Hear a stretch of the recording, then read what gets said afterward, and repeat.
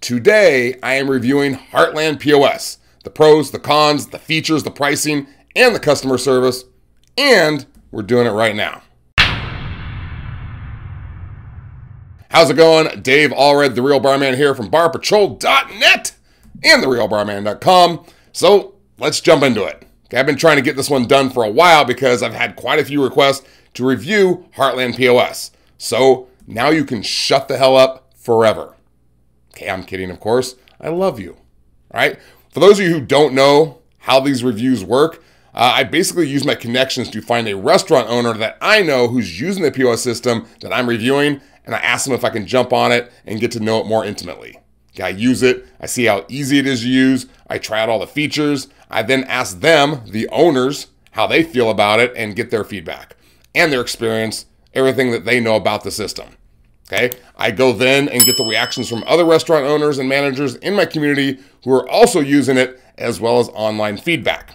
Okay. And this way, we have a complete collaboration of thoughts and opinions, not just mine. Does that make sense? Okay. So let's talk about Heartland POS. All right. They have a POS system for both restaurants and retail, but it wasn't built by restaurant people. And since I'm here to help bar and restaurant people, that's a minus for me right off the bat. Okay. It always makes me feel like they're on the outside looking in. However, at its core, Heartland functions as a simple, easy to use basic POS system. Okay, its user interface is customizable, allows for quick menu changes and order customization on the fly. Did I say all that right? All right, furthermore, its inventory management capabilities ensure that you know when products are running low or need to be restocked. Okay, all that is well and good. However, over the years, Heartland Payment Systems and its POS systems have been under fire for its incompetence on the security end of things, as well as secretly taking on unauthorized fees to bars and restaurants during the pandemic. Okay, so some ethical issues there, not cool. Okay, case in point, in 2008, Heartland Payment Systems experienced a major data breach that exposed the personal financial information of millions of customers. Okay, then in 2021, just a couple of years ago, multiple restaurants sued Heartland Payment Systems for dramatically increasing their monthly fees without warning or consent. Okay, I mean, some of these restaurants had already closed down because of the pandemic, yet Heartland allegedly increased hidden fees anyway and made millions off of it. Okay, you can see one of the multiple complaints here. You can pause the video if you want to read that. I'm not going to read it to you, but it basically tells you exactly what I just said. Okay, these complaint these complaints are littered on the internet. Okay, so if you get past who they are as a company and what they've done to their customers, then by all means, let's go ahead and look at the POS system itself.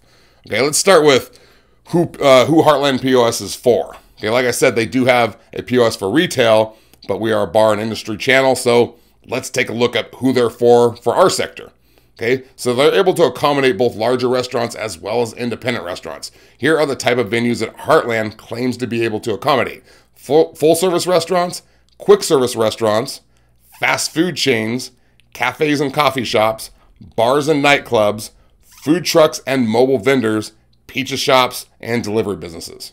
Okay, so for ease of use, Heartland gets a rating of good. Okay, it has an intuitive interface that's easy to navigate and it has a simple layout and I was able to quickly find the features I needed. Okay, which also makes it easier for easy for restaurant and bar staff to learn how to use a POS system even if they've never used a restaurant POS system before. Okay, one of the main reasons for the ease of use of Heartland POS is the customizable menu screens. Okay, users, users can create menus that are tailored to their specific needs and their preferences. Okay, this type of menu management allows the staff to quickly find and select items, which of course speeds up the ordering process. All right, Heartland Features also gets a rating of good. And I wouldn't say that they'll blow you away compared to other POS systems on the market, but they get the job done. Okay, the main features include order and menu management, customizable menu screens, split and transfer checks, table side ordering options via a handheld device, basic inventory tracking, real time monitoring, which allows restaurants to monitor their operations from anywhere in real time, uh, employee management, scheduling capabilities, and a customer loyalty program. Okay, all the basics you need in a good POS system.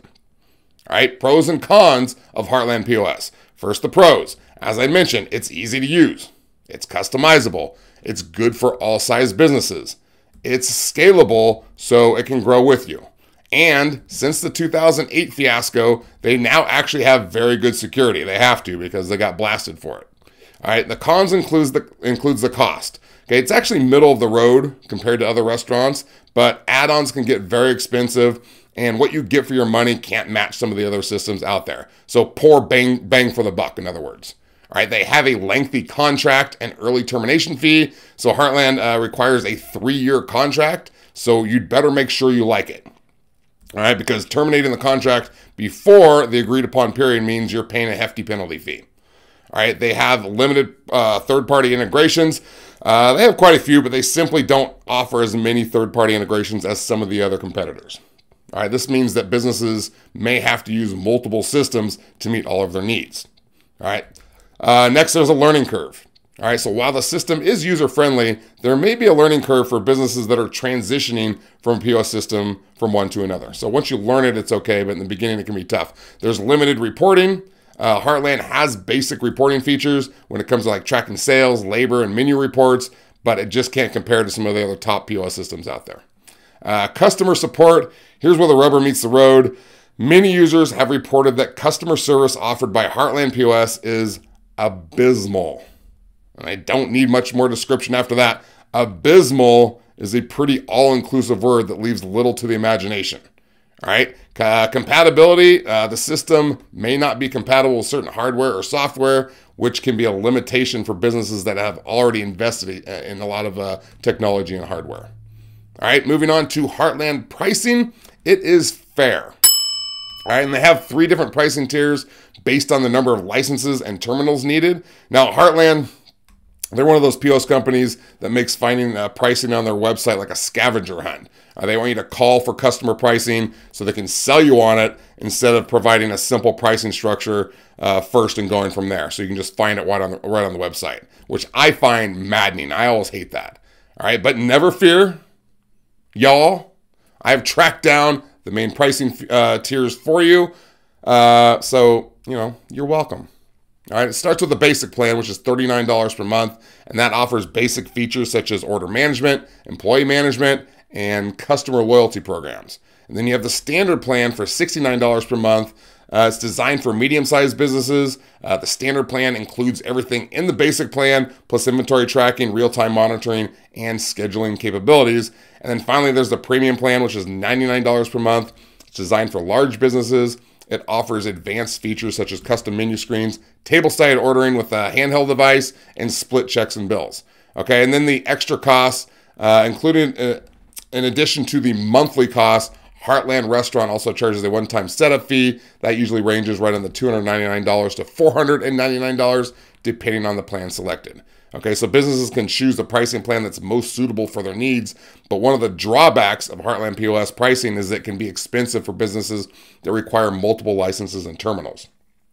And these additional costs can add up quickly, especially for businesses that have a high volume transactions. All right, and then of course, you have the long term contract to consider. All right, and then finally, we'll finish up with customer service, which gets a rating of poor or abysmal as uh, some customers would say. Uh, they simply can't seem to recover from their poor reputation ever since being blasted for you know charging hidden fees to restaurants unaware. Okay, in addition to restaurant owners complaining about long wait times for support and representatives simply not caring about their needs, so they've said, uh, the technical issues continue to mount. Uh, that includes slow processing times as well as system system crashes and errors. Uh, this is kind of all over the place, uh, and all of that sucks. But I'm going to say that the worst part of their customer service comes from the shady practices I talked about and the broken pom- uh, promises and vague definitions of what it is you're getting for your money. All right, this is the pattern for Heartland POS. It can be found all over the internet as well as with bar and restaurant owners I've spoken with. Uh, with that said, uh, here are the technical customer service aspects uh, Heartland offers just so you have them. Okay, they do offer uh, 24 7 phone support, they have email support, they have support tickets, they have an online, uh, online knowledge base, and they have video tutorials. Okay, so here's my final word. If you're, if you're looking for the best POS system on the market, Heartland Restaurant POS is probably not going to be it. Okay, if you're looking for a POS system to do the job, then you could take a flyer Uh, I'm not sure why you would when it's not really cheaper than many of the other restaurant POS systems on the market. Uh, that would be the main reason. Uh, but looking on most of the re- review sites for Heartland POS under the category value for the money, they get so many one and two star uh, ratings. It's just scary. All right. However, if you've heard or experienced something different, if you watched a different review, then by all means, go for it. Okay, it's my wish for you that you find the best POS system for you and your business, whatever that may be. Okay, I'm just here to help the best way I know how and just inform you, give you the information, then you go make the decision. Okay, I want to thank you for hanging out with me today. I do appreciate it. I'm going to see you next time. I'm out.